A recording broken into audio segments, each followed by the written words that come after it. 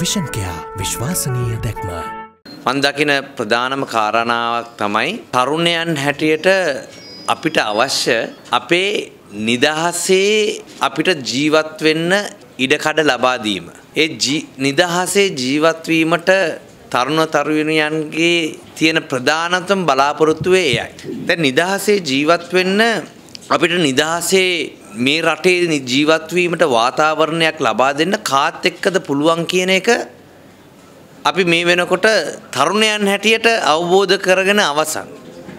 මොකද අපි දන්නවා අපේ ප්‍රතිවිරුද්ධ කණ්ඩායමේ අපේක්ෂකයා ගෝඨාභය රාජපක්ෂ මහතා ඇත්ත වශයෙන්ම පෞගිය කාලේ ආරක්ෂක ලේකම්වරයා හැටියට කටයුතු කරනකොට තරුණයන්ට නෙමෙයි මෙතන ඉන්න මේ මාධ්‍යවේදීන්ටත් නිදහසේ තමන්ගේ රාජකාරිය කරන්න බැරුව ගියා.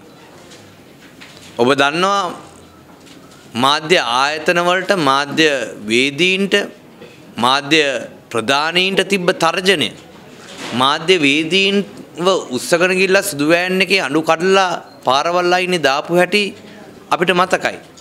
මාධ්‍ය ආයතන වලට බෝම්බ ගහලා මාධ්‍ය ආයතන වලට ගිනි තිබ්බ හැටි අපිට මතකයි.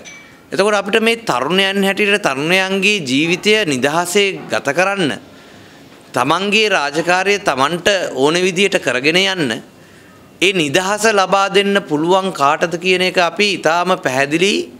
ඒක කරන්න පුළුවන් සජිත් ප්‍රේමදාස මැතිතුමාගේ සංකල්පයට අනුව.